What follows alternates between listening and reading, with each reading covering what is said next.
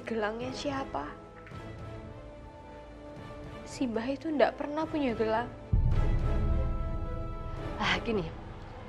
Hmm, gimana kalau untuk sementara waktu kamu kamu pergi ke Singapura? Ya, kamu di sana. Kamu tenangin pikiran kamu di sana. Kamu tinggal di rumah Tante Poppy, teman Mama. Saya ini calon menantu Om dan juga Tante. Bukan pembantu yang bisa disuruh datang kapan aja. Gusti Allah, aku pasrah. Kalau si mbahku harus tahu kalau aku itu Oh, maaf, maaf, maaf, suster. Assalamualaikum.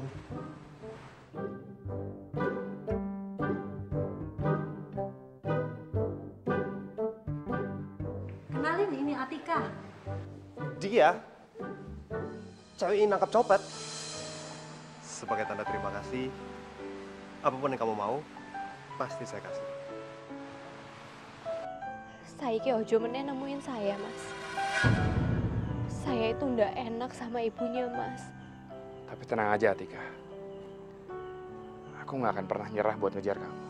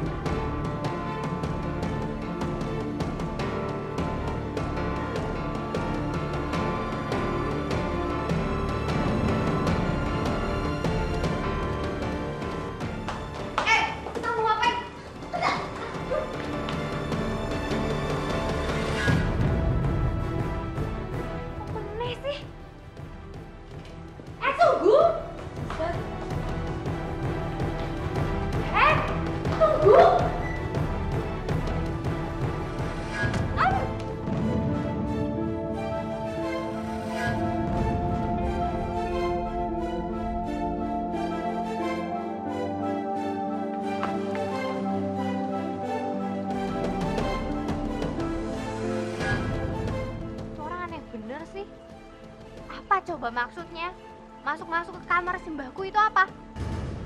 Mau niatan jahat ya? Awas aja kalau ketemu. Tak piting, tak ulek-ulek. Biar jadi rempeng. Simbah ndak ada yang jagain.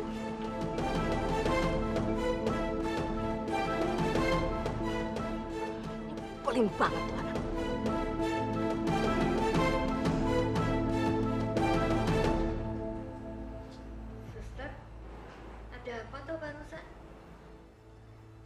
Tadi siapa yang masuk itu?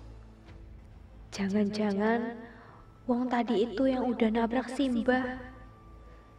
Jangan-jangan dia juga mau ngambil gelang yang ada di tasnya Simbah. Loh, loh, kok, kok nggak dijawab tuh, suster? Ada apa barusan? Gak ada apa-apa. Pokoknya nenek tenang-tenang saja ya. Selama ada saya di sini, gak akan ada terjadi hal yang buruk. Terima kasih, suster.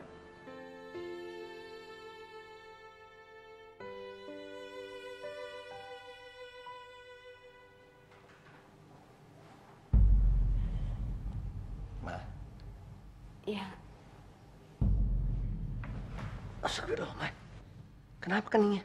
nggak apa-apa. Tadi Mama bangun karena haus dan karena ngantuk sekali dan juga jalannya gelap-gelapan, pintu ditabrak deh. Nggak apa-apa kok, Pak. Hati-hati dong, Ma. Enggak, nggak apa-apa kok. Tidur aja lagi. Mama mau Papa kasih obat pereda nyeri. Enggak, nggak usah. Udah nggak sakit kok. Ya udah. Tuhan ya. Saya akan bikin perhitungan sama kamu, Atika.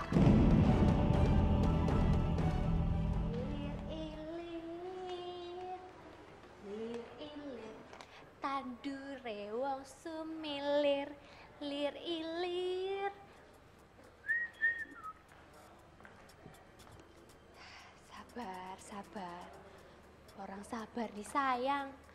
Jangan lewat-lewat dulu. Aku lagi ngepel.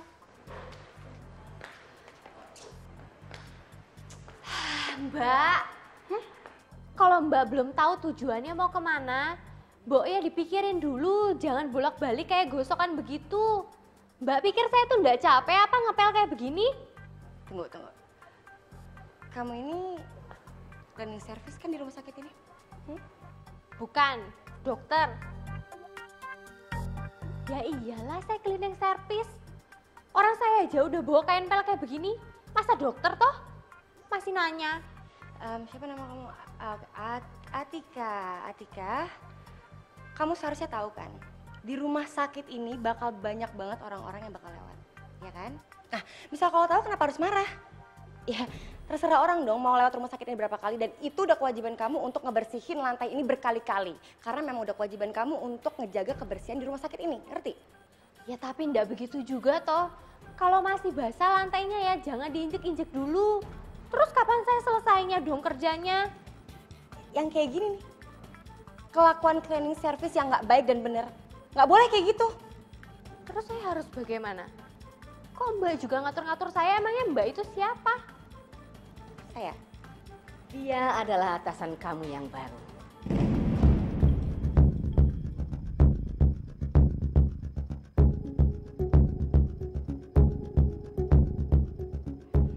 Mulai hari ini, dia akan menggantikan Pak Sukimin. Selama ini kinerja Pak Sukimin kurang bagus.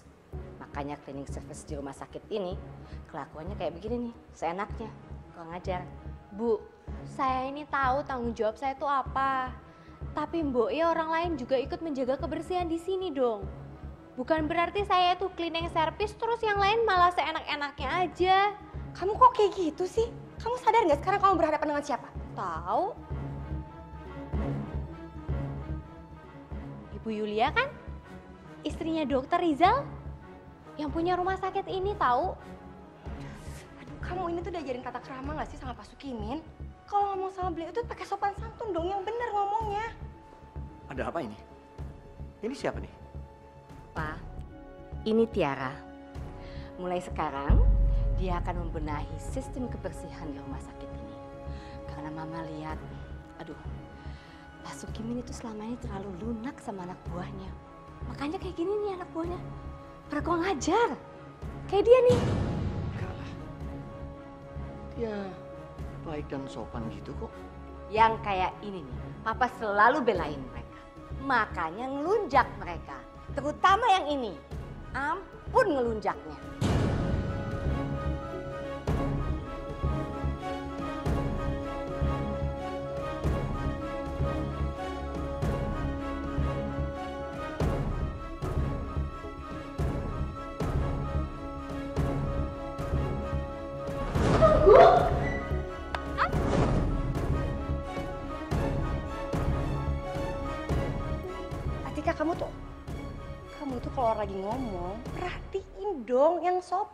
Lihat matanya. Gawat. Kayaknya anak ini mulai curiga deh sama saya. Eh, Pak, kita ngobrol di ruangan papa aja ya. Jadi lebih enak. Oke.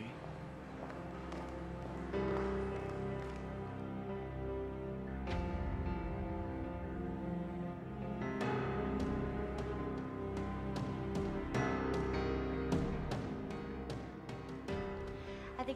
berarti mulai sekarang kamu udah tahu kan jabatan saya di sini sebagai apa? Tahu dong. Jadi mulai sekarang kamu harus tunduk sama semua perintah saya. Oke, mengerti? Atika. Halo? Atika! Ini anak emang bener-bener harus disekolahin etika. Ya nggak bener banget sih. Eh, kalau orang lagi ngomong, itu diperhatiin matanya yang bener. Ingat ya, saya ini bos kamu, atasan kamu. Pemenang sih mbak.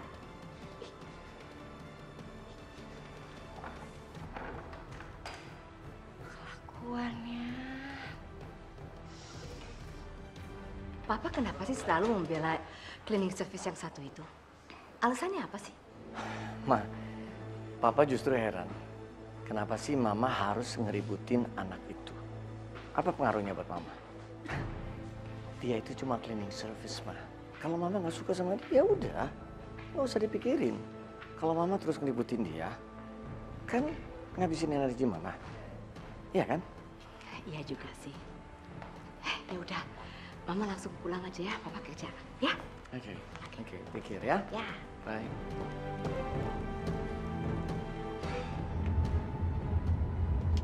Tiara, kamu awasin terus anak itu. Ditekan terus ya. Kamu tahu kan tugas kamu? Iya, iya inget dong, madam. Saya itu harus kasih kerjaan yang berat dan banyak buat Atika. Sampai akhirnya dia nggak tahan dan dia resign dari rumah sakit ini tanpa harus dipecat. Betul? Persis. Oke. Yes,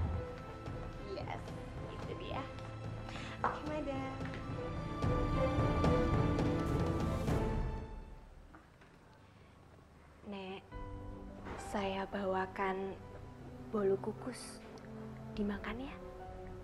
Bolu kukus. Loh, suster ini kok tahu toh? Itu kan juga makanan kesukaan saya. Selain lemper. Bagus kalau begitu. Yang penting nenek mau makan ya? Saya suapin.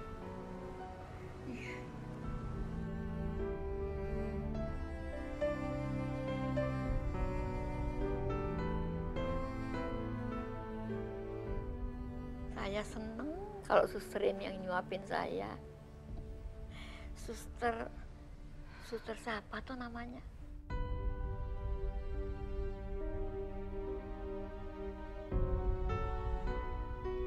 Suster, Nama saya Suster Titi. lah, kok mirip dengan nama cucu saya ya? Atika, saya panggilnya Tika. Tik, Titi, Tika, mirip toh?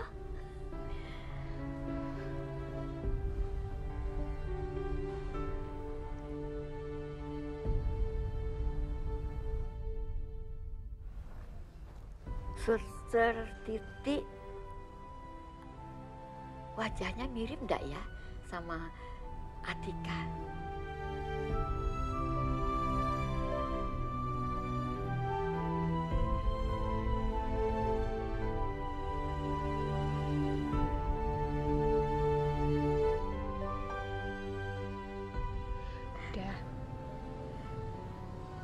Dimakan ya, Nek.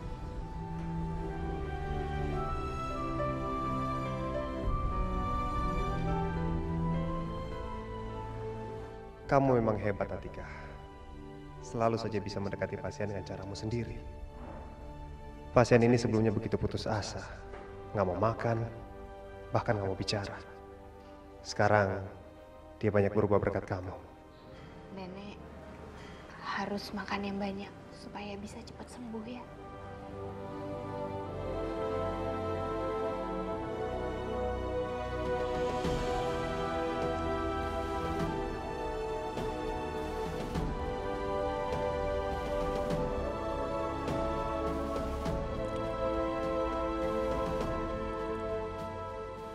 Kalau nanti saya sembuh, mata saya sudah bisa melihat lagi.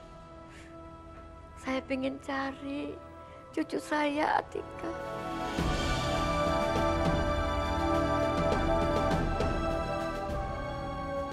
Atika, kamu itu di mana, Tondo? Di mana, Atika? Mbak pengen lihat kamu itu menikah dengan Nak Aryo.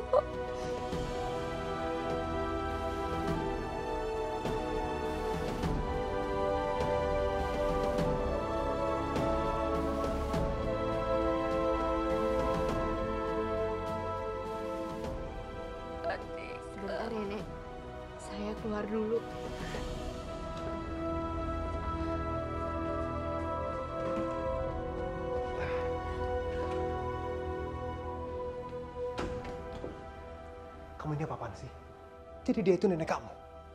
Simba yang kamu ceritain selama ini? Iya. Dia udah datang ke Jakarta, dokter. Dia ke sini nyariin saya. Terus kenapa kamu tega bohongin dia? Kenapa kamu pura-pura jadi orang lain? Saya sama sekali nggak nyangka.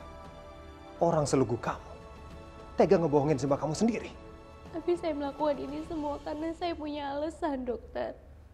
Karena saya ingat kata-katanya dokter. Kalau Simba saya itu nggak boleh dengar apa pun yang bisa membuat dia sedih, begitu kata dokter kan? Iya. Tapi dia itu... Tapi dia itu kan nenek kamu. Justru karena dia nenek saya, saya takut dia kenapa-napa. Saya nggak mau dia tahu hal sebenarnya. Saya nggak mau dia tahu kalau kalau sebenarnya calon suamiku itu udah meninggal. Dokter dengar sendiri kan. Simbaku itu pingin sekali melihat aku dan Mas Aryo itu menikah. Dokter dengar kan. Lalu aku harus bilang apa sama Simba? Aku harus bilang kalau Mas Aryo itu sebenarnya sudah meninggal begitu dokter. Aku nggak bisa. Aku nggak mau buat Simba itu sedih dan semakin sakit. Iya, tapi mau sampai kapan kamu terus berbohong? Hah? Karena sekali aja kamu berbohong. Selanjutnya kamu akan terus berbohong, Atika. Ya sudah kalau begitu. Dokter saja yang masuk ke dalam. Dokter bilang semuanya sama Simbaku. Dokter buka rahasianya semua sama Simbaku karena aku nggak tega, dokter.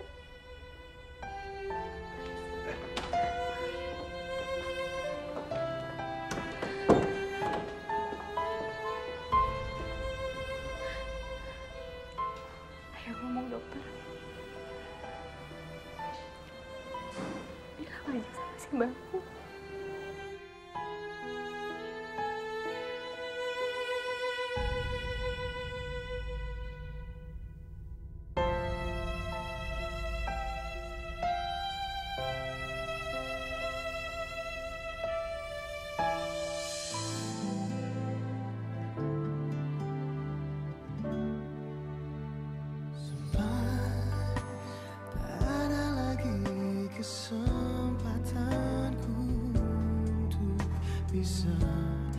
Samamú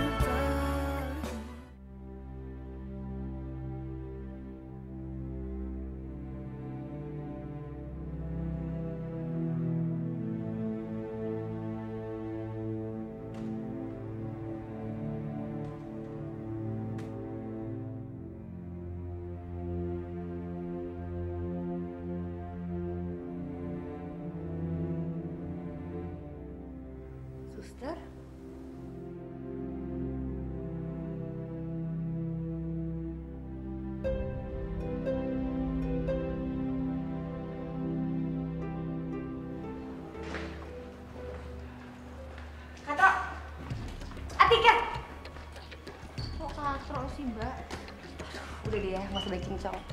Saya punya tugas buat kamu. Tugas apa? Gini, sekarang juga kamu bersihin taman. Maaf, Mbak. Saya tidak bertugas untuk ngebersihin taman. Yang biasanya bertugas ngebersihin taman itu Mas Eko. Iya, benar, Mas Eko. Ya itu kan yang biasanya. Sekarang bukan yang biasanya. Kamu masih ingat apa yang dibilang sama Bu ya? Semua peraturan ada di tangan saya dan semuanya kamu harus turutin. Ya wes lah, ndak usah nesu-nesu. Aku mau bersihin taman.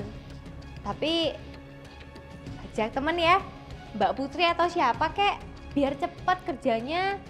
Terserah saya dong. Saya mau nugasin kamu sama siapa? Kalau saya nggak mau gimana?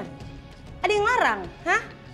Udah deh mendingan sekarang kamu ke taman, kamu bersihin taman, kamu potongin rumput-rumput, kamu ambilin sampahnya.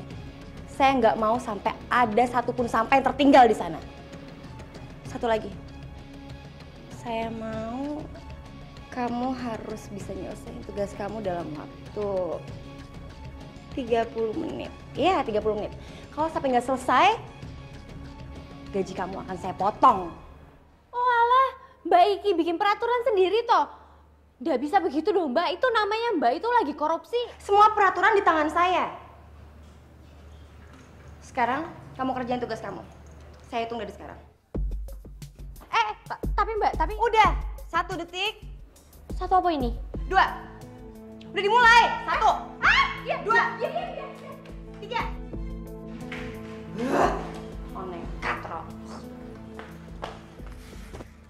Aduh, piye iki? Kalau waktuku habis gimana? Ini bisa dipotong gajinya. Aduh, ini kerja bukannya bisa nabung, malah nombok terus.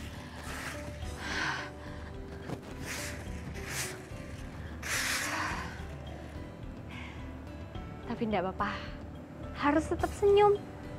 Karena kata si mbahku itu, kalau kerja itu nggak boleh ngedumel. Karena kalau ngedumel sama aja kita itu ngeludahin rezeki kita sendiri. Mak, mak, tolongin saya. Ya, ada apa toh? Suster yang tadi mana ya? Suster yang tadi? Nggak tahu saya. Aku udahan aja deh berjemurnya. Bisa anterin aku ke kamar. Ya, sebentar ya, sebentar ya tapi ya. Aduh, ini waktu saya udah mau habis soalnya. Tapi piye tuh, saya juga nggak tega masa ninggalin orang tua di sini. Ini piye, ini suster juga. Aduh, ke mana sih susternya? Nak, Iya, iya, iya, sebentar, sebentar.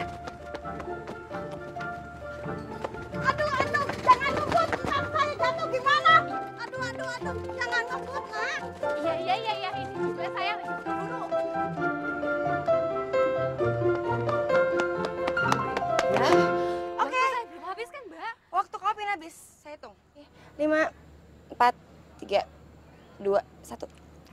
Habis. Mbak, itu jamnya pasti salah. Nggak mungkin masa waktu saya ini jam.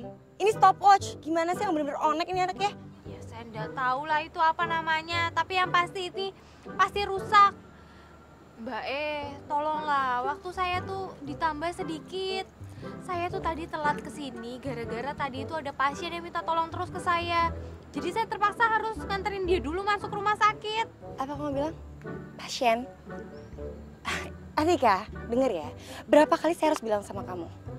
Pasien itu urusan dokter sama suster. Bukan urusan cleaning service kayak kamu. Ya Mbak eh, masa ada orang yang minta tolong saya cuekin aja toh? Pokoknya saya nggak rela kalau gaji saya itu harus dipotong. Ingat, saya yang punya aturan di sini. Eh, Atika! Atika, kamu mau ke mana? Sini.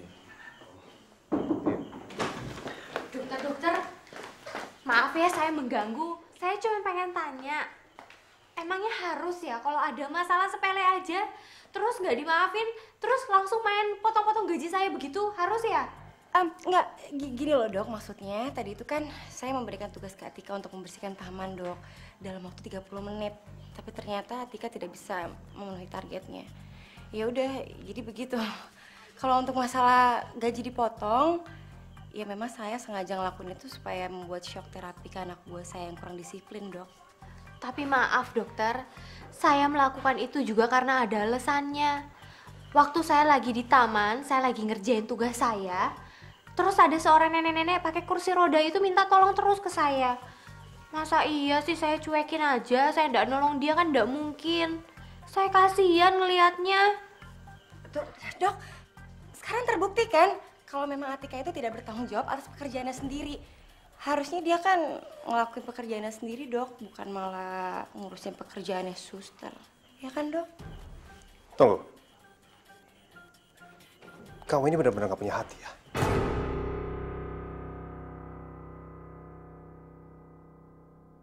Sekarang saya tanya sama kamu. Misalnya kamu sekarang lagi berangkat ke kantor. Kamu buru-buru karena kamu takut telat. Dan tiba-tiba di tengah jalan ada kecelakaan. Dan kamu satu-satunya orang yang bisa menolong di situ. Apa kamu diam saja?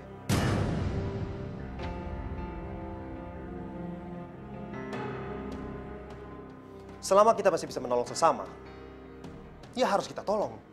Kita nggak boleh hitung-hitungan. Asal kamu tahu, Atika ini sudah banyak mengenal pasien-pasien di sini. Dan dia merupakan kesayangan dari banyak pasien di sini. Ya tapi kan dok, kalau memang di sini sudah ada dokter dan suster, kenapa cleaning service harus ikut-ikutan juga? Itu kan nggak perlu dok. Masalah kemanusiaan itu bukan cuma urusan dokter dan suster. Masalah kemanusiaan adalah masalah kamu punya hati atau tidak. Apa yang dilakukan sama Atika itu sudah benar. Dan apa yang diucapkan sama Dokter Sultan juga sudah tepat. Kalau kamu melakukan sesuatu, itu harus dihubungkan dengan konteksnya. Dan kalau kamu menerapkan disiplin secara kaku, kamu lihat aja. Lama-lama anak buah kamu jadi robot. Rese banget sih. Kenapa jadi gue yang kena begini? Uh, beruntung banget nih si Katur dapat pembelaan dari dokter-dokter. Ah, tapi kalau Madam Yulia tahu suaminya membela Katro, pasti Madam bakalan panas. Terus sekarang ini piye toh dokter? Gajiku jadi dipotong atau enggak? Dokter, begini saja gaji saya tuh sudah kecil. Belum dipotong kontraan. Sekarang dipotong lagi. Aduh, habis dokter. Atika, Atika, kamu tenang aja. Gaji kamu nggak akan dipotong gara-gara masalah ini. Ya, Bener? Dokter Rizal terima kasih. Dokter Sultan juga terima kasih. Alhamdulillah ini.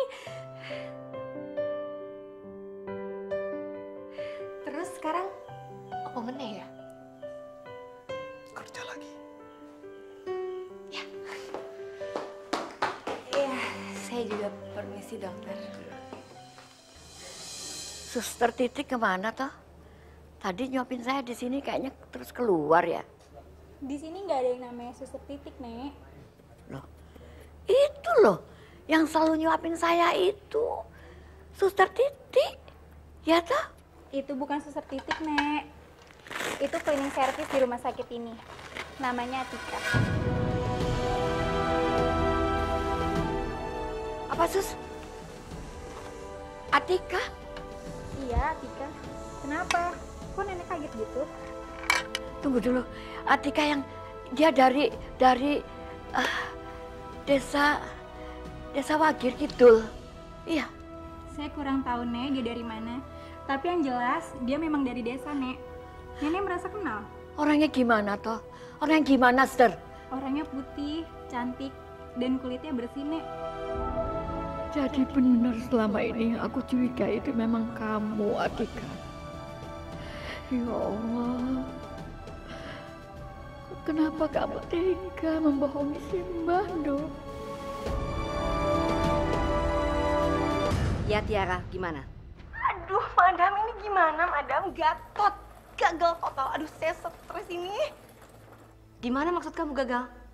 Ah, madam jadi gini, tadi itu saya hampir aja pengen motong gajinya Atika gara-gara dia kerjanya nggak disiplin, madam. Tapi ternyata apa? Atika dibelain sama suaminya, madam. Dan belum lagi tadi juga dibelain sama dokter Sultan, madam. Mereka belain anak itu. Iya, dan madam perlu tahu ya, madam ya. Tadi, tadi tuh saya dimarah-marahin gitu, dibentak-bentak gitu sama dokter Sultan, madam. Saya dibilang katanya saya nggak punya hati lah.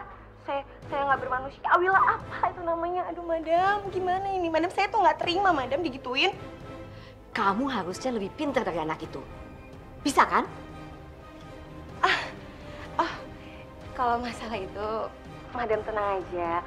Madam percayakan semuanya sama saya ya. semuanya pasti bakal terkendali sama saya. Laksanakan.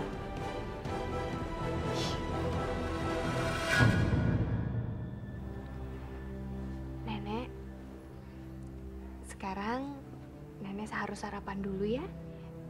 Besok nenek mau makan apa? Biar saya beliin.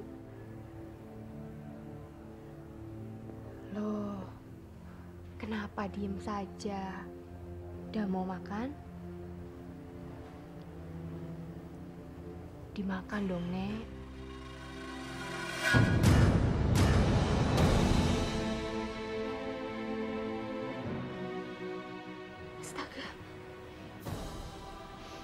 Kenapa kamu bohong, Atika?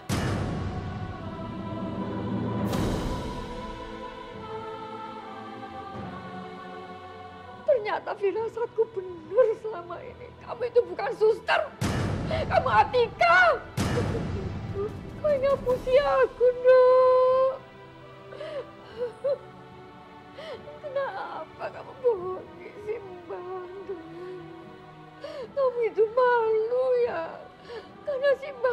Matanya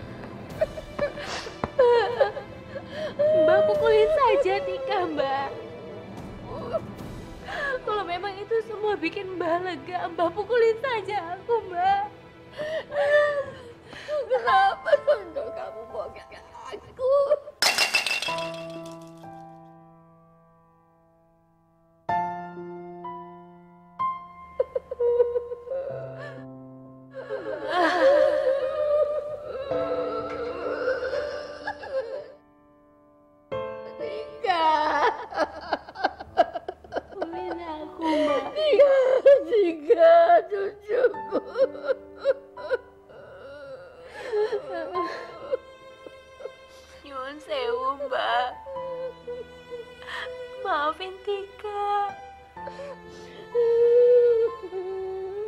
Ya Allah.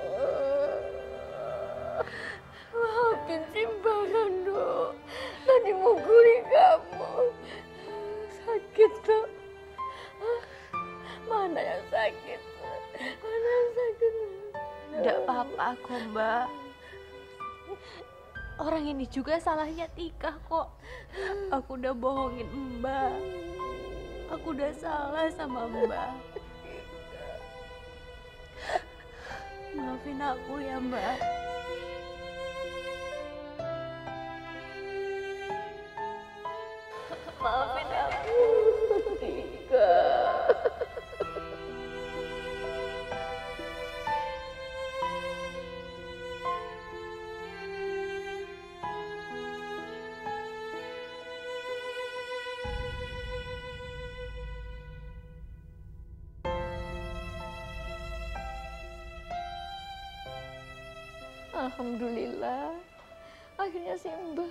Kamu, Atika.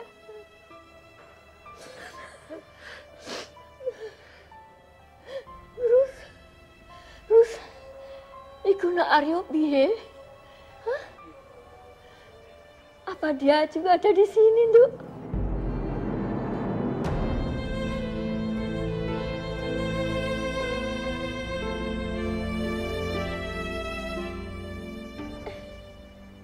Mas Aryo.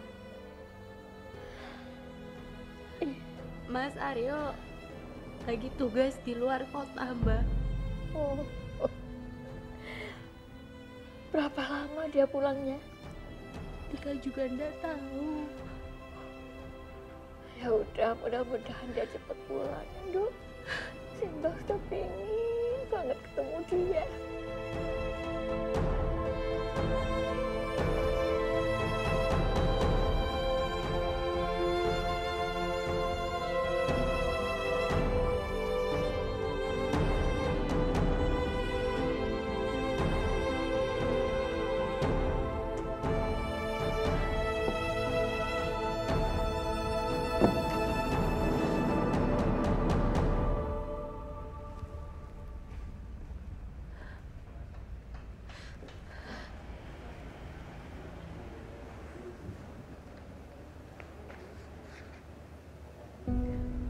Mas Aryo. Gimana caranya aku bisa bawa kamu ke depan simbahku?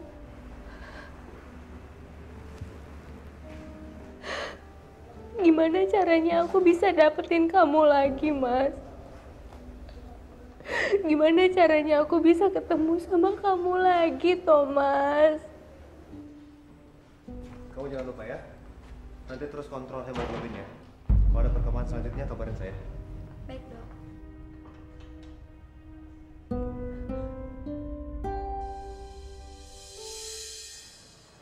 Assalamualaikum, Mbah.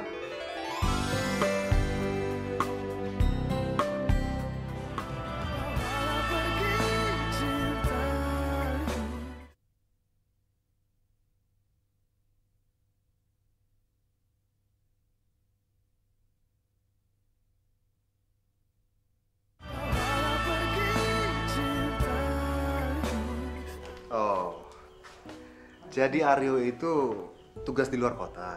Di kota mana sih? Pasti jauh banget. Dokter, dokter mau kan nolongin saya? Tolong kamu. Iya dokter, pura-pura aja jadi Mas Aryo.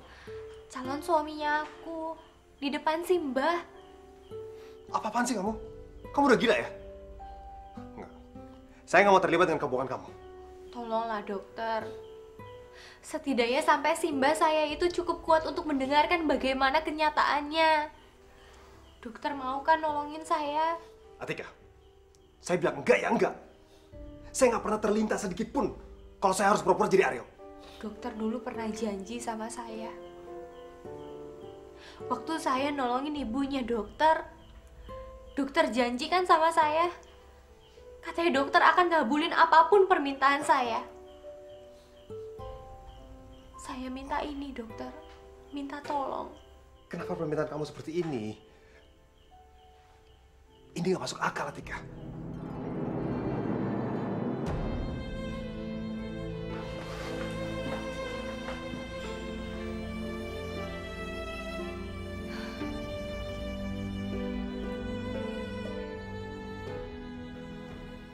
Tolong kamu jagain Atika ya. Dia polos dan lugu, nggak tahu apa-apa. Dia di Jakarta ini nggak punya siapa-siapa. Karena hari ini kamu sudah menolong ibu saya, sebagai tanda terima kasih, apa pun yang kamu mau, pasti saya kasih.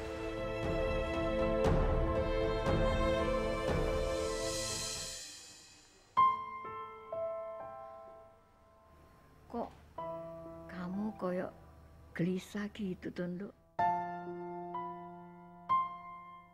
Terus ceritanya piye?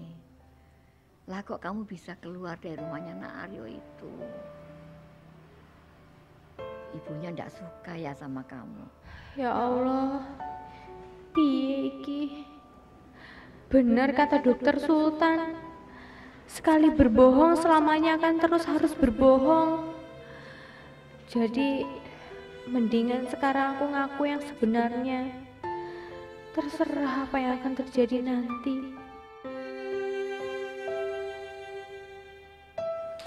Mbah, sebenarnya Mas Aryoko itu Kenapa? Nak Aryo kenapa? Mas Aryo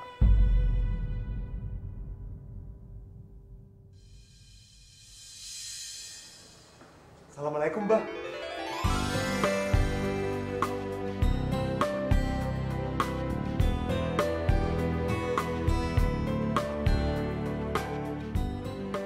Ini Aryo, Mbak.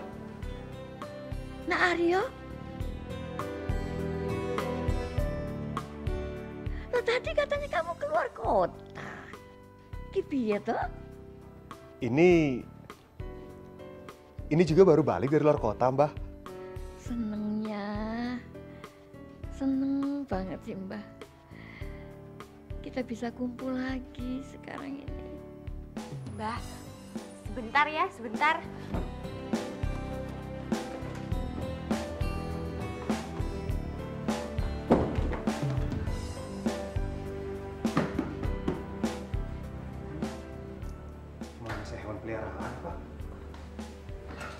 Dokter, terima kasih ya dokter. Dokter udah bantuin saya. Lagi nih kalau kayak begini dokter.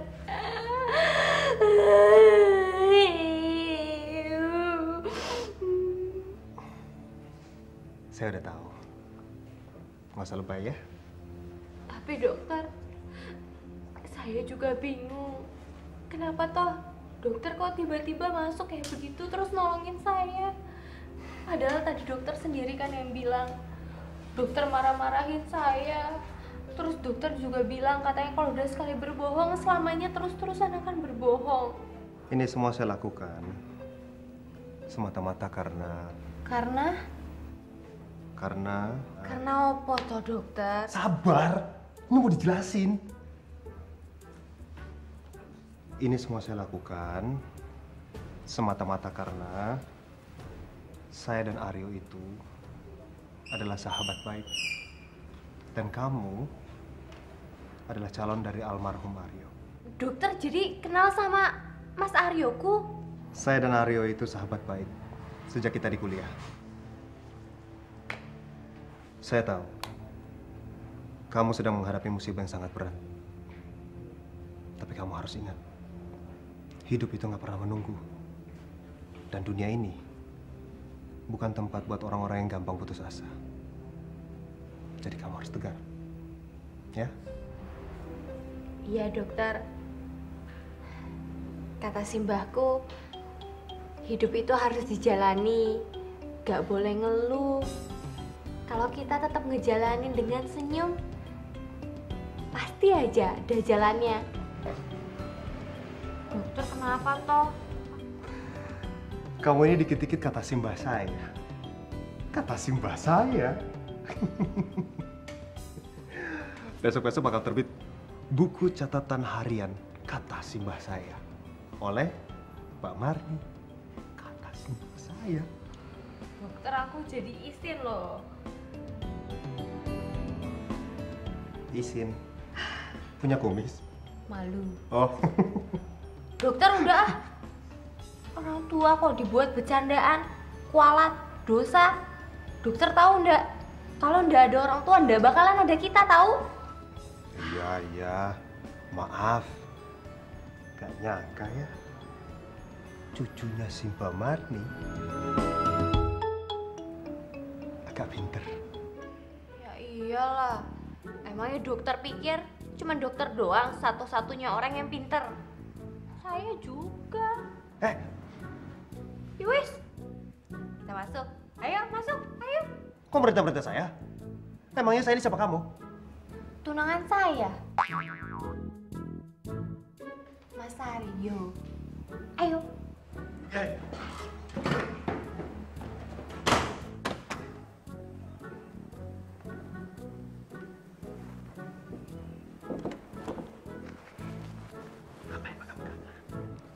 Biar kelihatannya mesra, terus si mbakku jadi seneng. Mbak kamu itu buta, bukan tuli. Kalau mau pelukan percuma, gak bakal dilihat. Oh iya, lali aku.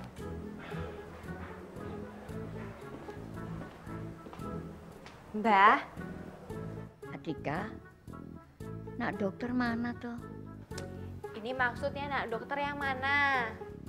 Yang galak atau yang lembut?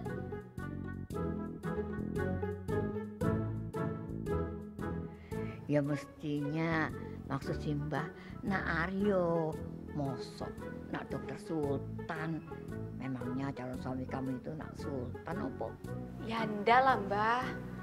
Mana mau aku menikah sama orang yang galak-galak seperti itu? Tapi ini orangnya udah ada di sini. Mas Aryo. Mas Aryo. Kenapa toh menewai? Gimana mbah? Udah enakan badannya? Saya seneng loh mbah. Mbah udah banyak makan. Jadi, kalau mbak sehat, mbak bisa cepat pulang. Iya, Bok tanyain sama dokter Sultan. kapan sih Mbak bisa keluar dari sini gitu, Nduk? Bosen loh di sini terus. Mbak ini kebetulan ada dokter Sultannya juga toh.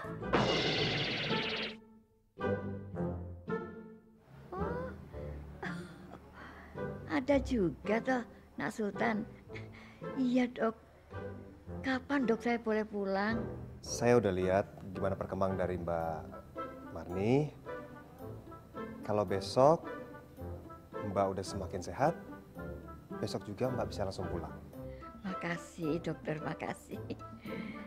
Eh, Atika, suaranya nak dokter Sultan itu mirip ya sama suara nak Aryo. Udah, udah mirip kok. Suruh aja mereka ngobrol berdua. Pasti terlihat perbedaannya seperti apa.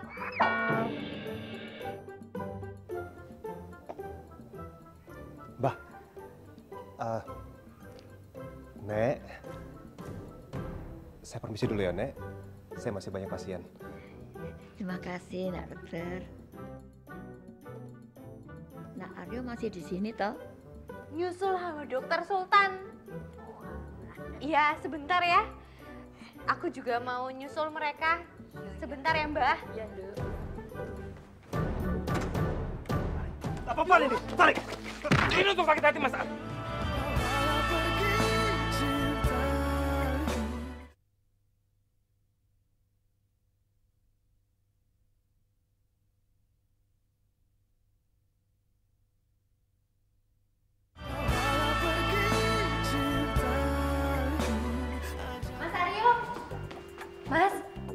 Kamu udah gila ya?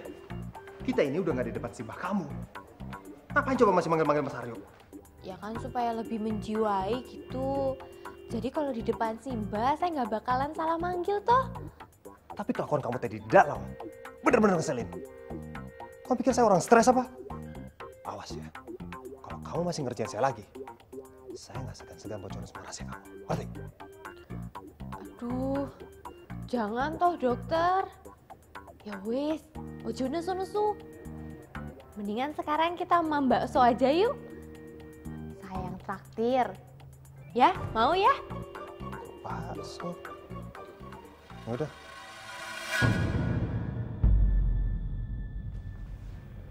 Ini ngapain pakai peluk-pelukan gini? Kecintilan apa sih? Atika sama Sultan? Kok bisa? Oh, jadi ini alasan kamu menghindari aku selama ini.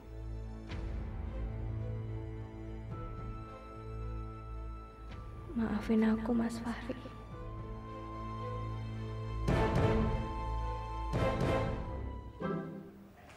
Tadi dipeluk. Sekarang dilempar. Jangan labil kali ya. Labil? Apa meneh toh? Eh, Ojo nesu-nesu, aku cuman guyon tau.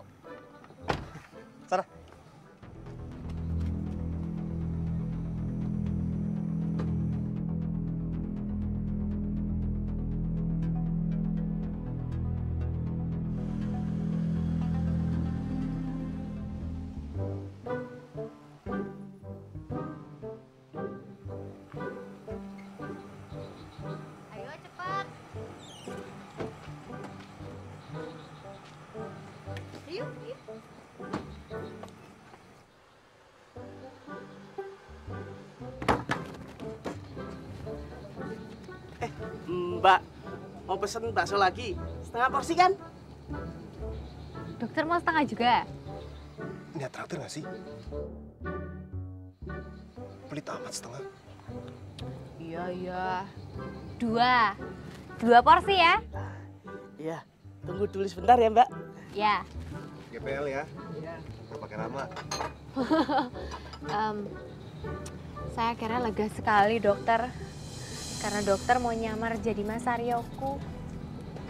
Ya, untungnya lagi kalau simbahku itu percaya sama sama suaranya dokter.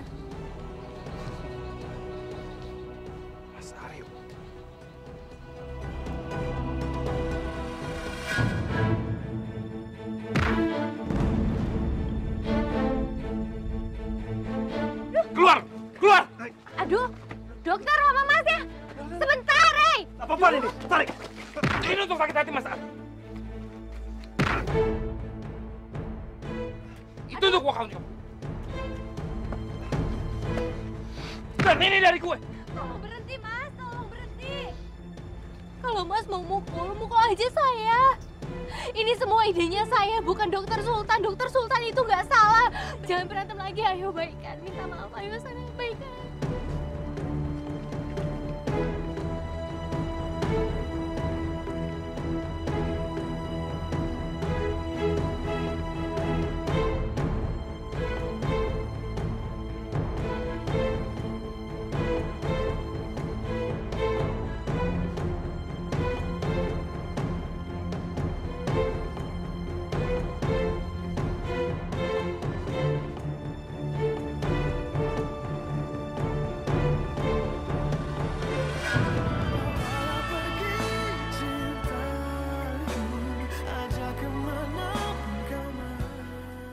Ya Allah, sekarang Mbak Mari baru ketahuan punya penyakit jantung. Aku nggak marah kok sama kamu. Karena setelah aku pikir-pikir, aku ngerti kenapa kamu lebih milih Sultan buat gantiin Mas Arif. Jadi